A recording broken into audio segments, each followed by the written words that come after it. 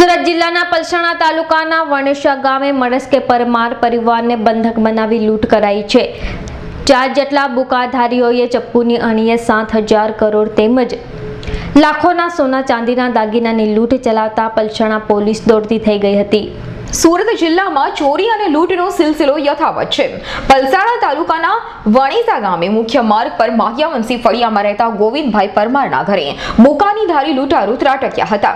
મળસ્કે ઘરના મુખ્ય દરવાજાનો નકુચો તોડી ચાર હિન્દી ભાષી બુકાની ધારીઓ ઘરમાં પ્રવેશ્યા હતા. તરત ઘરમાં મહિલા જાગી જતા લૂંટારૂએ મહિલાના ગાલે ચપ્પુ મૂકી રોકડા રૂપિયા સાત હજાર તેમજ કબાટમાં તોડફોડ કરી અને લાખોના સોના ચાંદીના ઘરેણાની લૂંટને અંજામ આપ્યો હતો. સાંભળીએ કઈ રીતે બની આખી ઘટના.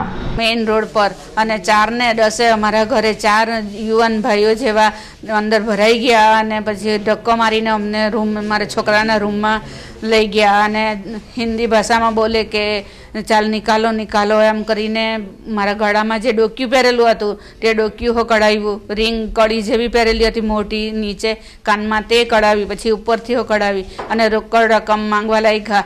તો મારા હસબન્ડને કીધું કે રોકડ રકમ તો નહીં મળે. દિવાળી હતી એટલે દિવાળીનો પગાર દિવાળીમાં વાપરી કાઢ્યો.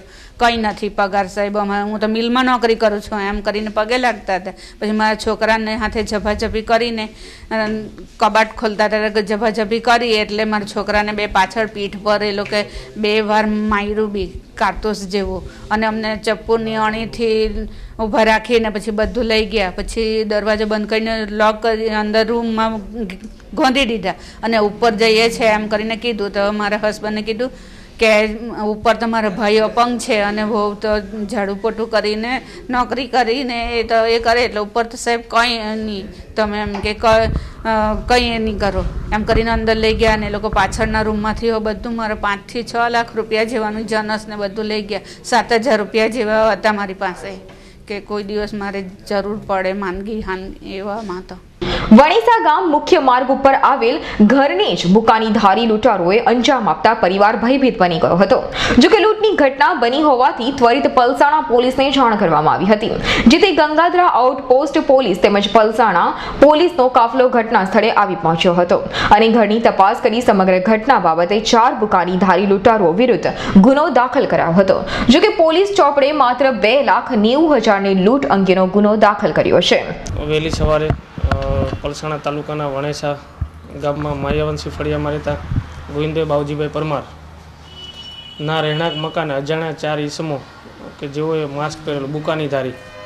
એ ઈસમોએ ઘરનો દર, મેઇન દરવાજો તોડી અંદર ઘૂસી પરિવારના, ગોવિંદભાઈના પરિવારના સભ્યોને બંધક બનાવી.